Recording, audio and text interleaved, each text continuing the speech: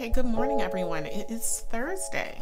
Okay, so this morning I need to get a couple of reports done really quickly and then I can begin to work on like what I've been working on um, this week, which is getting back to this analysis on sales data. So yesterday, I think I was yesterday, I told you guys I was trying to figure out how to do a bell curve in Tableau and that like if I figured it out, I would show you guys how to do it, like maybe do like a separate video. So I've watched, there's not a lot of videos on people doing bell curves in Tableau, but there was someone that showed it how to do it, but there is a formula in there that I don't understand what it's doing. Like they're using the same or similar formulas that you would use in Excel, like to calculate the mean, which is just your average, to calculate their standard deviation. I didn't know that Tableau had that in there. So you can calculate the standard deviation, your mean um, in Tableau. But there was, let me see, do I still have the video up? What, there was a formula that they used um, to calculate the um, the curve. That's the part I didn't understand. So I, I, I can't I can't explain something I don't understand. So I need to go back and look at it. Now, I will, if I can, I will put in a screenshot of what my bell curve ended up looking like against like my bar chart because the bar chart represents like the actual results. The bell curve re represents um, like the normal distribution. And what is throwing off my bar chart is that I have so many results at zero and those results are supposed to be like they're accurate. Like the there's a lot of people that have zero as far as a result goes but it's throwing off like the axis of the bar chart. Like because that because there's so many people at zero it's making all of the other bar charts or the other bars in the graph look small because there's this one and again you'll see it um hopefully i'll include it and you'll be able to see like why it's thrown off so much. Um i guess for me the question is now why are so why why do we have so many results at zero? That's a question. Like we have some negative results but not as many negative results as we as we have at zero. So that's something that i'm going to dig in today to find out like doesn't like is there an answer for the zeros? Because that is just a significant like i know other people would be like why are there so many people at zero? Like what's going on here? You know because it stands out and it's throwing off the rest of the results in the bar chart. So yeah. So that's something i'm going to look at. Um this morning and work on. And today is a day where I have just a lot of meetings back to back. So it's hard to kind of like talk to you guys. Like I have meetings.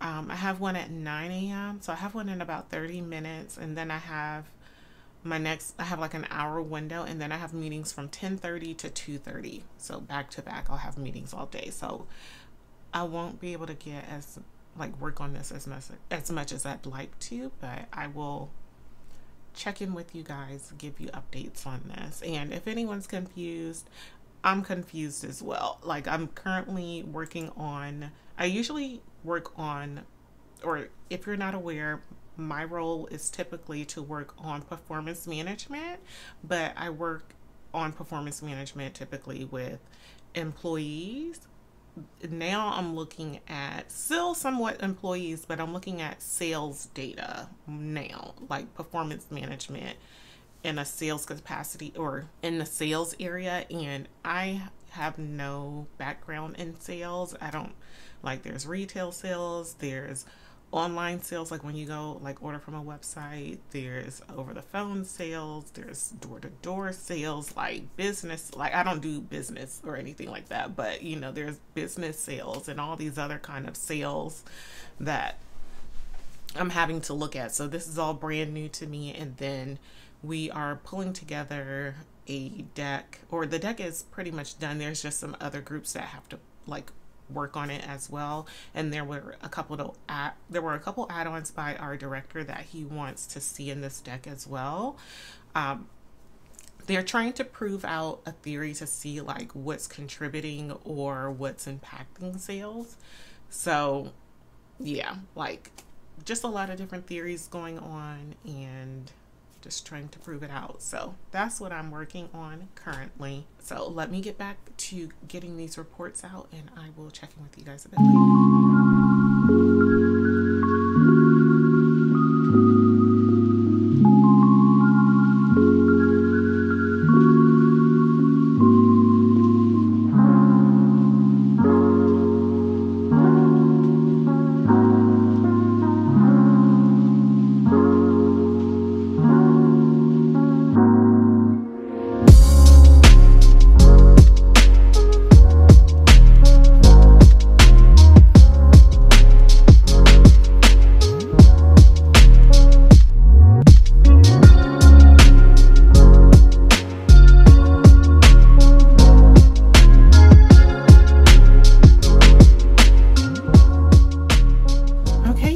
So it is the end of the day. My meetings ran over. My meetings were supposed to go till 2.30. They went until it's almost 3 o'clock. I'm about to leave for the day in like 30 minutes, so I just need to wrap things up.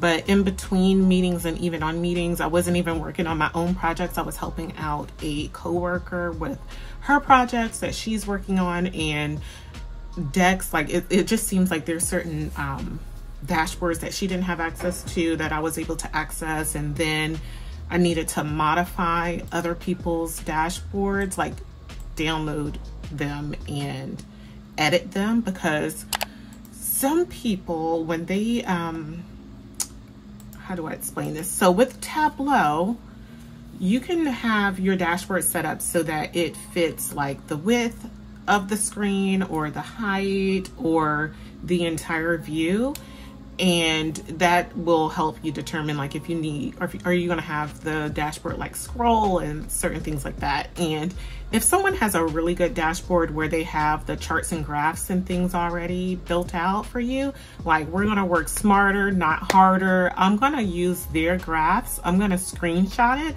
But if you have to scroll and you can't see all the data in one shot like one view it's hard to screenshot that and use it for your own deck which is what she needed to do.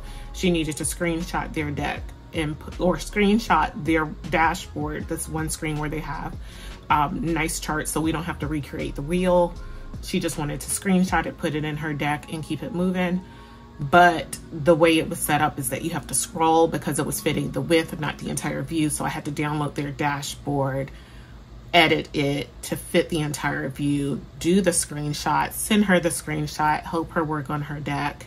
We're getting numbers, we're getting things done. And then also I'm her backup because she's going to be out of the office tomorrow. So I need to know these things just in case someone reaches out and asks a question. Although I can probably say like, look, I don't know anything. I'm new here. I, like I'm new. like I don't know anything about all the sales stuff. So, but it's good for me to do these things and learn where things are. So I've been helping out with that. So my manager has to reschedule our meeting to discuss some of the things that I've been working on and some of the results that I have, but we did just hang back on like our last call and discuss some of the things that I had questions about, like for a lot of my results in my dashboard showing zero. She was like, that is normal. So I guess like the data is what it is. It's going to look skewed in my um, graph in that chart I showed you guys. It's going to look skewed because she's saying that is accurate. So we have a high number of people that had zeros in the month of August. Month to date, September, we still have a lot of people at zero.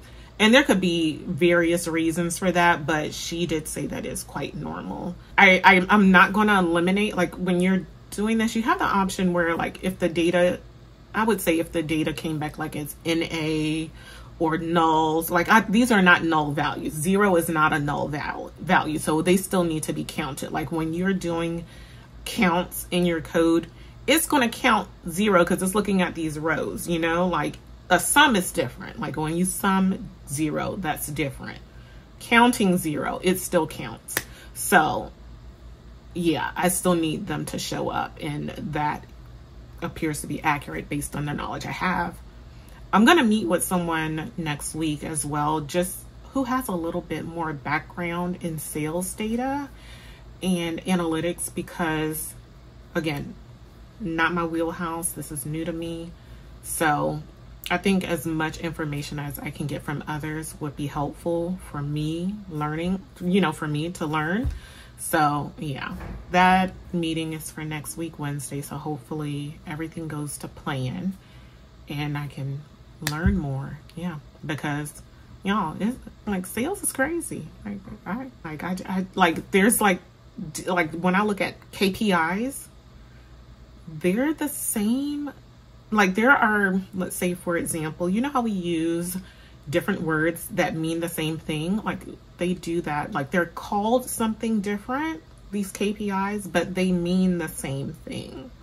So I don't like that personally. I, I, I don't like that. Um, I, I wish we would stop doing that, but yeah, I don't like it because I'm confused when I go to pull results and I'm trying to validate it like this against this, like, and they're the same doggone thing, but the numbers are, oh, and here's the other thing. The numbers are different though, because people look at them different ways, which is a whole nother story. We won't get into that now because I need to finish up the day. So I will try to check in with you guys tomorrow.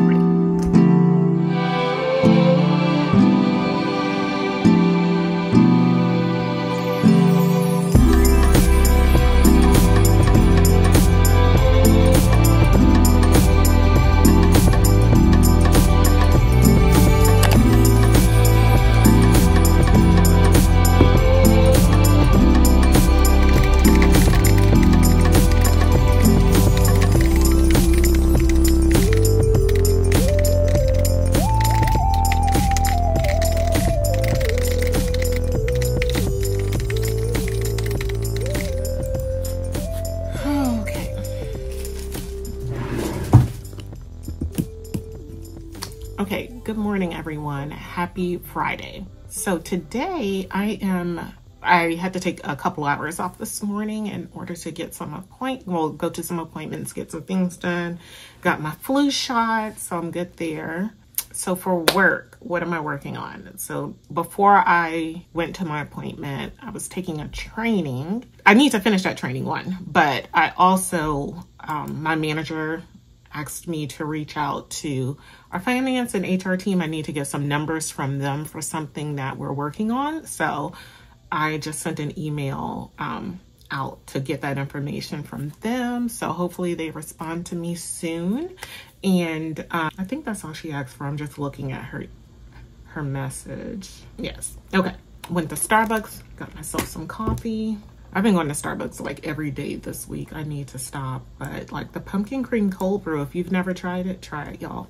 All right, so I need to get back and take my training after I fin because this is like a mandatory training. So after I finish that, it says it'll only take like 30 minutes. So after I take that, then I can get back to working on my Tableau dashboard, I believe. I do have, hold on, did they cancel? No. Okay, so I have two meetings, like one with my manager and then one with another team. It's only like half my team is out on vacation today, so I don't know if we still need like this team meeting that we normally have, but we'll see. Maybe they'll cancel it. But it's an hour long meeting, and I don't want to be like the only one there, so yeah, but we'll see.